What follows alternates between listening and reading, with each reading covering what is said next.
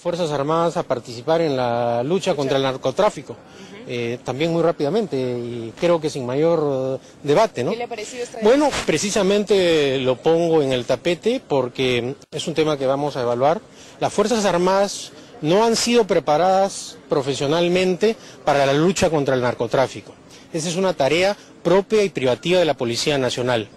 En el pasado hemos visto cómo en la década del 90 hubo lamentable, lamentablemente hechos que vincularon a sectores de las Fuerzas Armadas con el narcotráfico.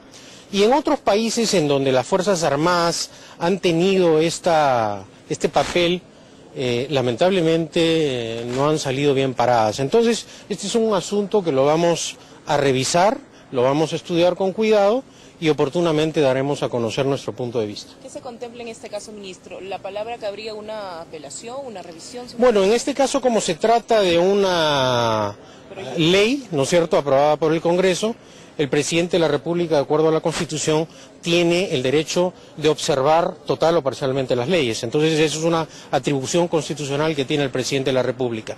Ya hemos hecho, porque esto recién eh, se acaba de aprobar, una evaluación preliminar y vamos a estudiar lo que es más conveniente para el país, ¿no es cierto? Y lo que también es eh, el, eh, el, el, rol que, debe cumplir la, que deben cumplir nuestras Fuerzas Armadas.